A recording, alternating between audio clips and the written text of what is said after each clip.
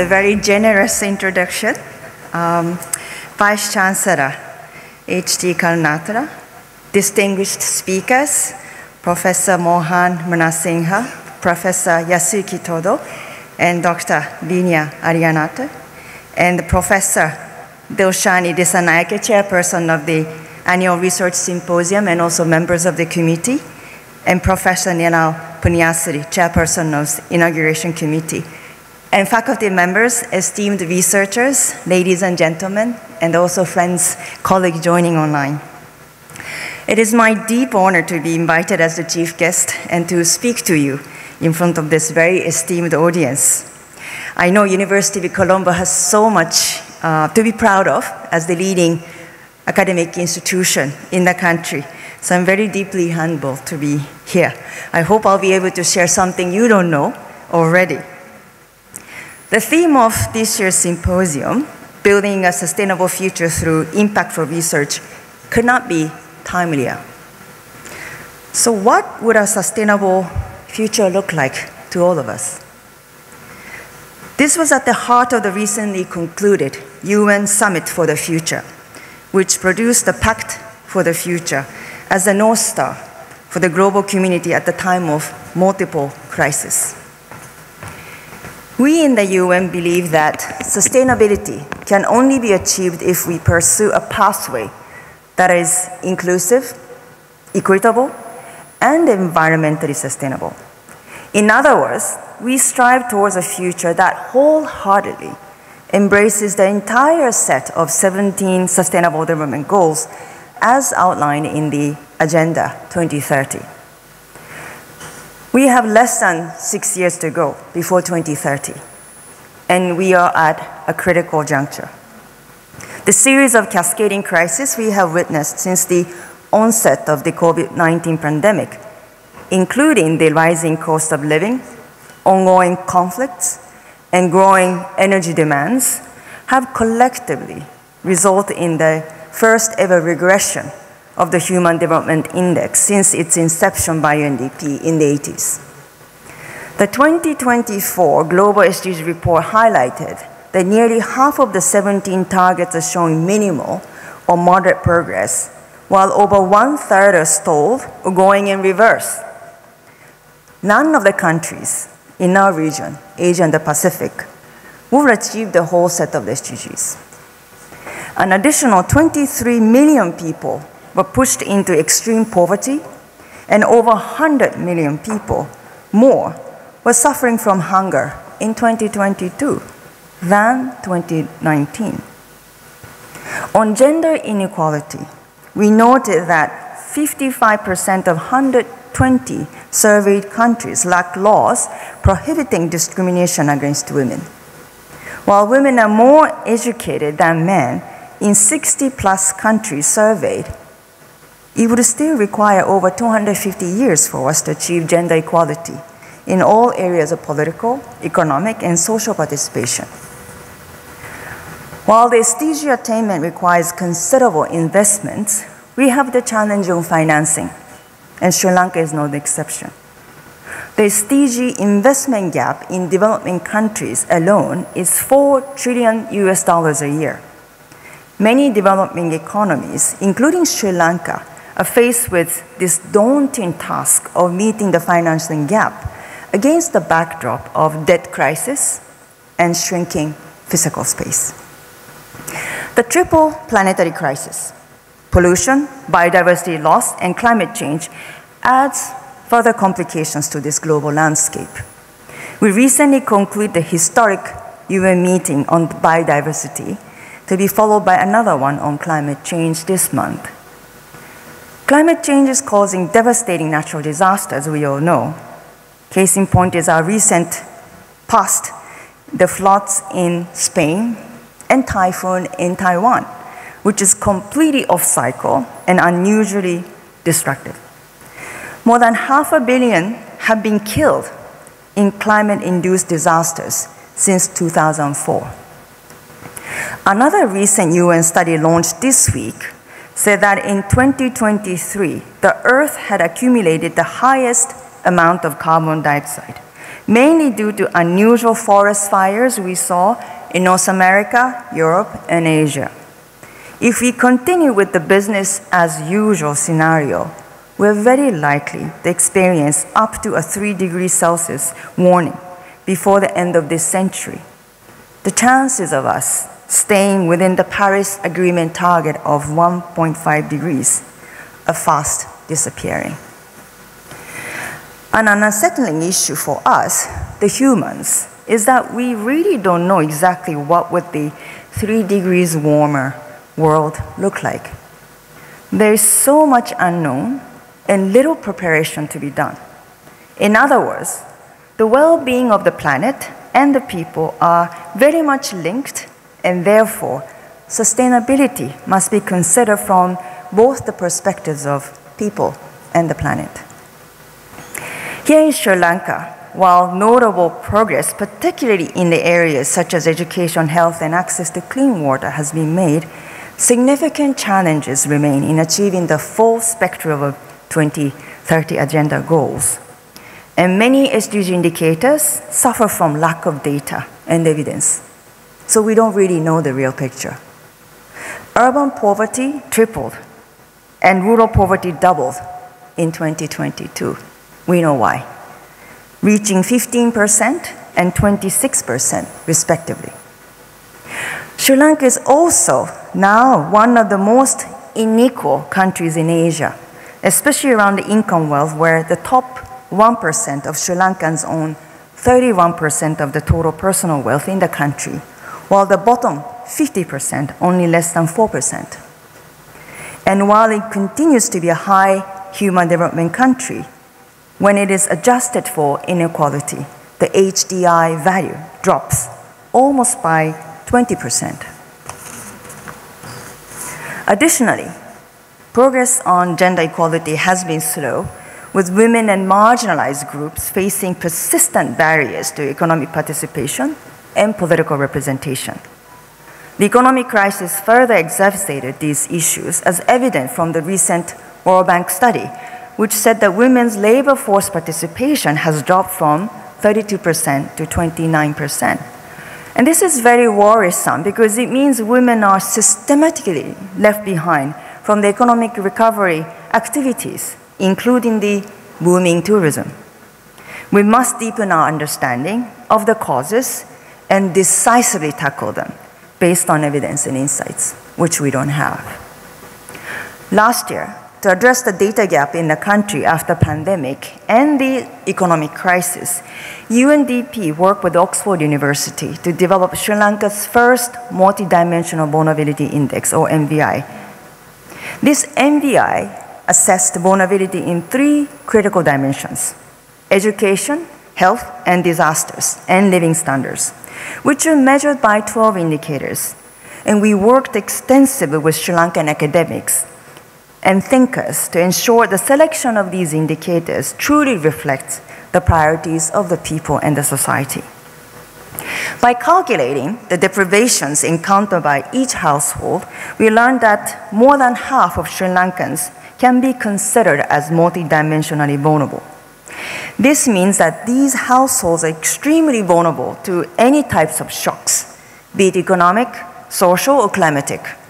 Households with a member of disability are more likely to be multidimensionally vulnerable than the household without. So what was useful about this MVI is that it allowed us to take a deep dive into understanding the specifics of the communities. And for UNDP, it was extremely helpful because we understood that there were gaps in our outreach.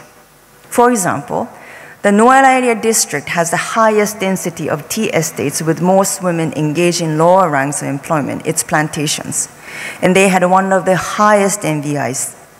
the district data also had a high prevalence of violence against women, as evidenced from findings from UNDP social dialogues in the community.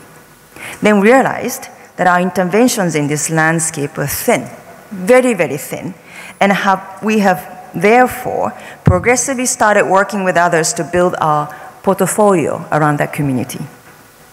So this is where evidence helps.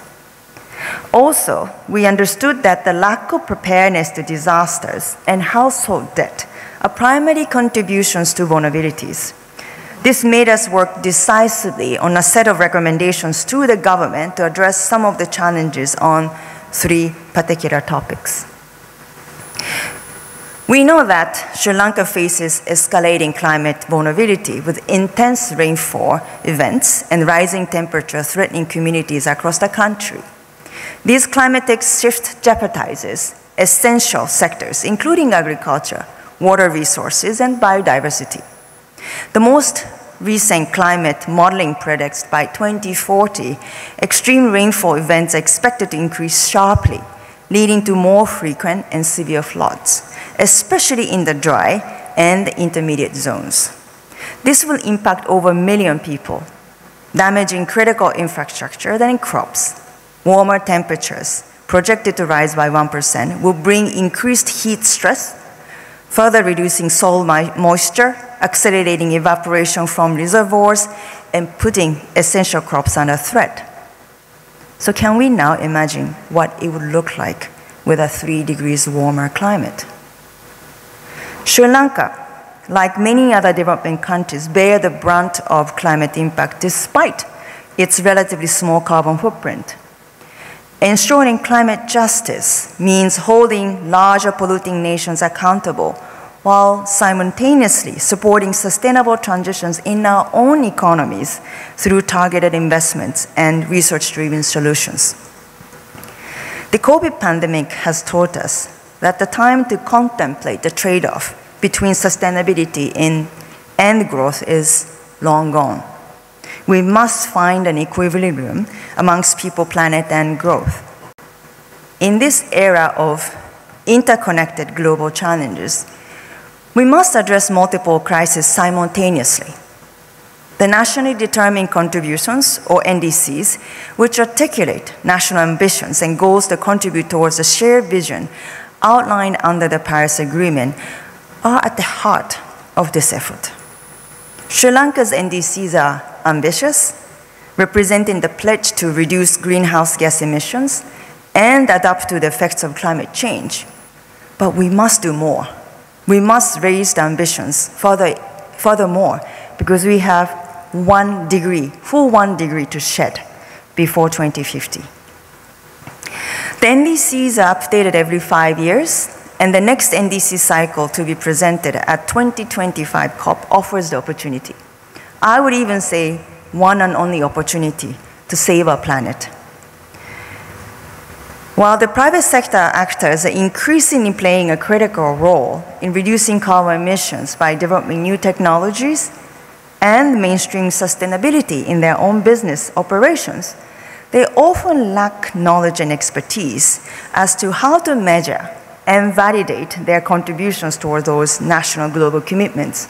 And this has significant implications for carbon trade and other new investments coming in to ensure the whole of the global community approach. Without data and evidence, we are prevented from making bold and impactful investments while also missing out on opportunities for strategic collaboration in terms of research and development. In the context of shrinking physical space and increasing complexity, it is crucial that we make the most efficient use of our resources across society, public and private financing.